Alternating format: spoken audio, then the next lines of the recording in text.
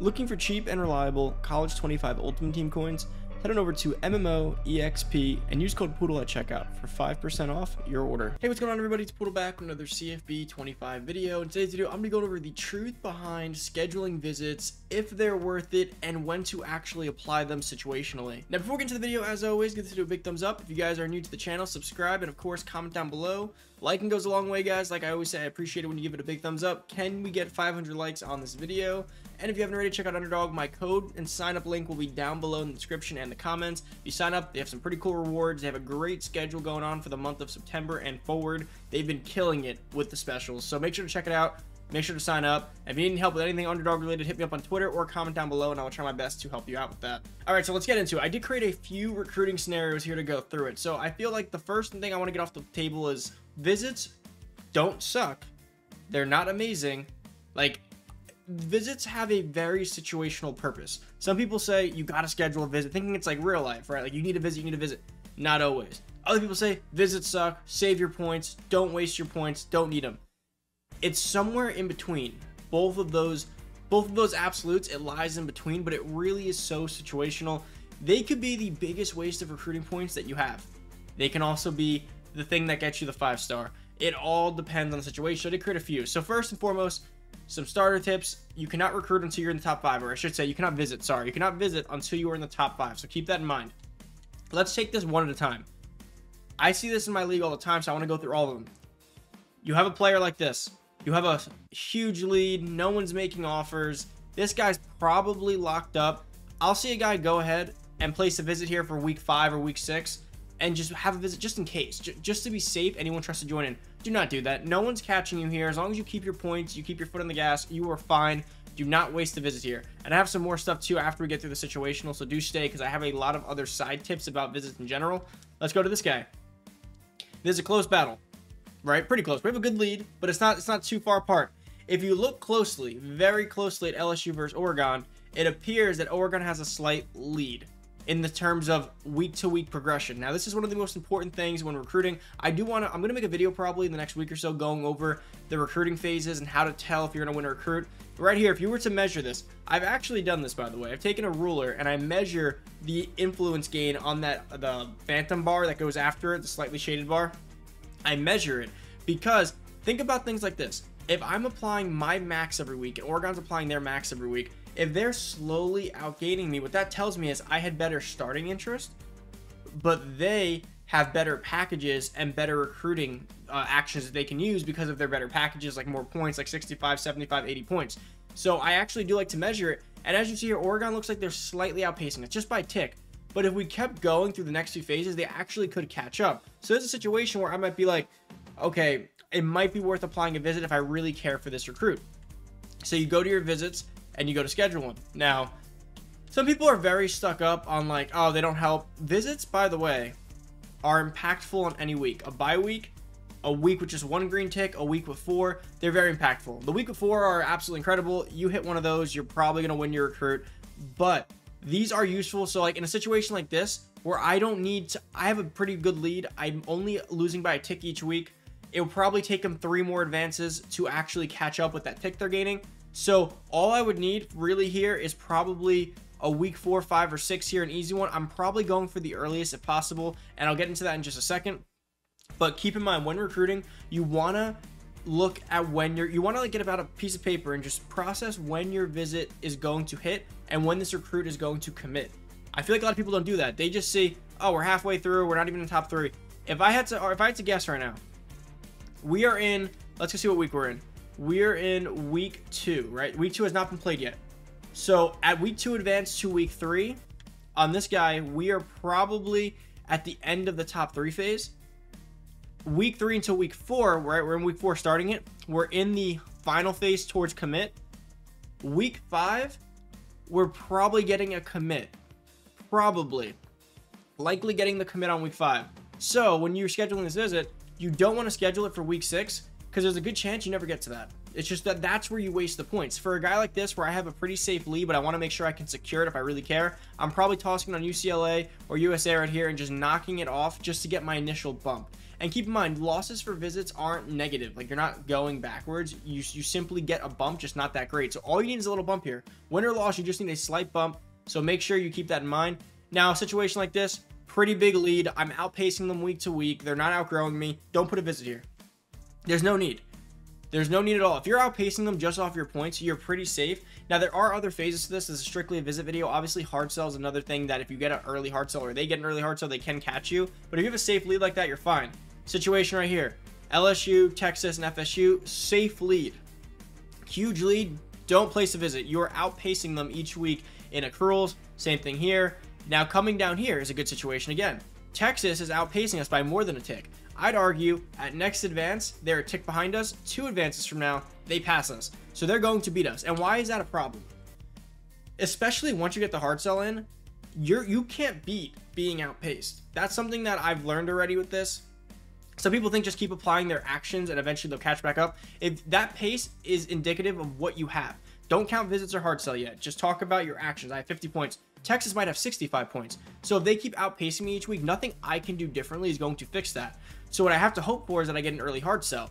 So at this point, if you were to get an early hard sell on this player, and they also get one, now you're neck and neck again, but they're still outpacing you because you both hard sold at the same time. You hard sold at the same time. So with that being said, this is a guy that if you want to get, you're gonna have to put a visit on. Most likely you will lose this recruit unless you get a visit on them or an early hard sell. But again, a lot of great programs, or you're going to a user league, they're probably getting those early hard sells too, unless they get really unlucky with the motivations. Same same thing here. So this guy, I had to guess, week three we're probably 75% mm, through. Week four we're into the commit. Same thing again. We're probably finishing this on week five, maybe week six. But you just need a bump here, and you may need more than a bump, but you, so you got to make sure you win it. I'm probably doing the game over the bye week in the situation, but you got to make sure you win it. Now, looking full forward on this, let's just say, let's say you had no no home games up until week seven. I've seen people do this too now, right? So let's say you have no home games up until week seven. So Ole Miss is your first opportunity. Some people here would actually schedule Ole Miss or this bye week, or let's say Ole Miss is a good team, right? I'm not doing Ole Miss. I'm gonna do week 10. So you spend, we do this on week 10. You put it down to one of your good ones like proximity to home, and you do week 10 yeah, you got the visit on. This recruit is done by week five. If you're lucky, week six. That is where you waste points. So always, always, always never touch the visit button because keep in mind there's opportunity cost here with points on visits. 40 is almost hard selling an entirely new prospect. So think about the way I like to think about this, especially early in the season. Once you're in the middle point and you're kind of doing a new stage of recruits, it's fine. But in the early portion, like week week zero preseason, when you got to go all in on the guys you want for your season, that's going to be the bulk of your true class. For every visit you plan to apply, you're going to lose a prospect. So, for instance, let's say you have 20 total scholarships given out or 20 total guys you're recruiting. Come week two, you're in the top five. It's time to apply visits. To get visits on five or six of your five stars or four stars, you're going to probably have to pull off all the points on your bottom six guys to apply these visits. So it's opportunity cost. If you do not waste it, because for everyone that you just throw away, you're costing yourself a four star or five star or three star player you could be recruiting from the early stages of the game. So make sure you are being so careful with these visits. Now, for me, if I have a four-star wide receiver who'd probably be like my third or fourth stringer guy that like I'm just gonna get as a scout player, I'll take the 40 off to get my five-star in for a visit who I'm a visit away from winning this. Or I have a lead, or I want to protect it. If it's for a five-star, I don't care. But I've seen people do this for three stars. I've seen people do this for four, like applying visits for four stars. I'm not I don't care enough about a four star to take a visit off in that situation.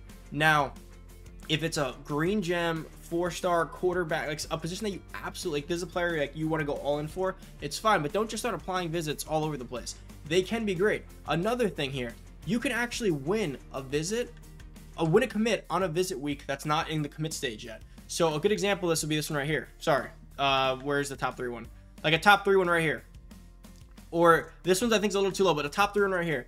If there was competition if you're close like 75% of the way through to top three, if you scheduled a visit, if you scheduled a visit and hard sold consecutively in this week right here, you could probably win this recruit. Now, something to keep in mind here is that you can also do this even if you're not in first. So let's say you were in second to Marshall and Marshall had a slight lead here.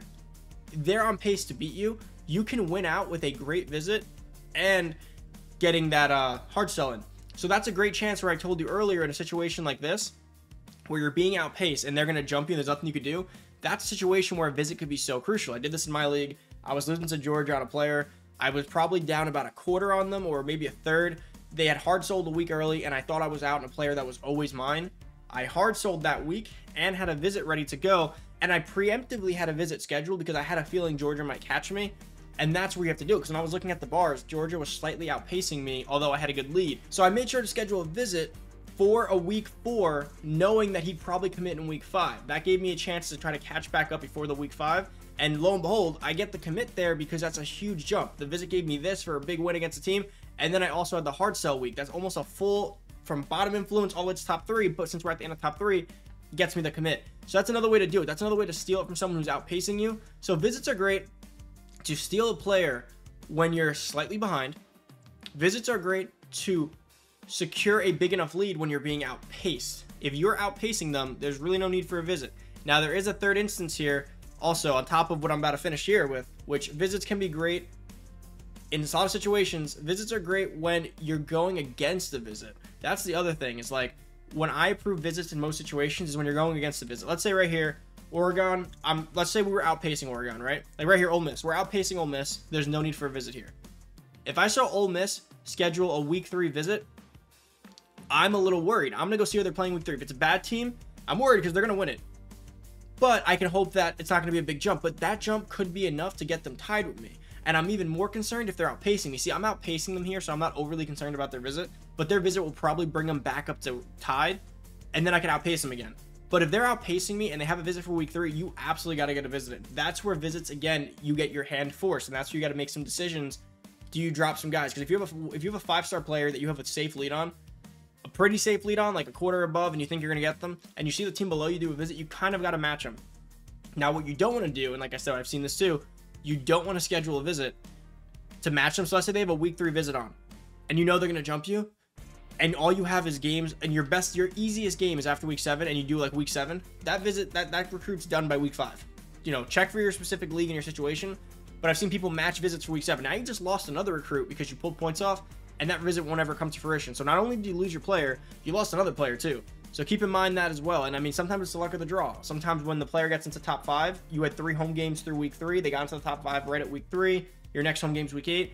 You're kind of you're out of luck on that one. So keep that in mind as well. If you're in an offline league, you can customize your schedules, kind of line up home games if you can. But that pretty much wraps it up.